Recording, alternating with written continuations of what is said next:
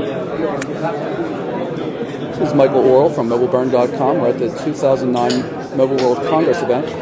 We're at the LG booth right now, and I have with me the S60 powered KT770. It's an S60 slider, similar family to the KT610 that came out last year, a QWERTY communicator style device. Pull up the main menu here, you can see it has a spring loaded joystick. If you hold it down, it continues to move. It's a reasonable feel. Nice display though, not all that bright. Metallic finish on it. Um, very, very glossy. A little bit hard to video and photograph here, but you see it's a pretty nice looking device. Nice textured back.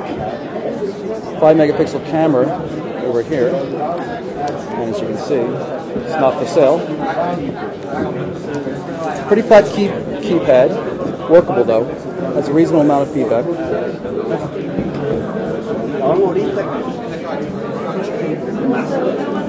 Pull up the menu again.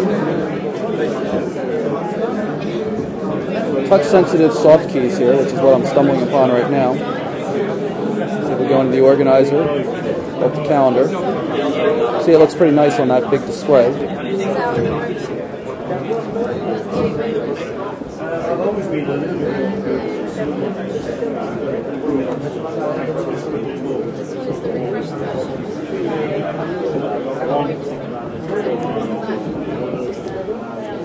Slider is pretty stiff, feels reasonably solid. Um, there's a little play in it right now, but this is a pre-production device, so it's something you can't hold against it.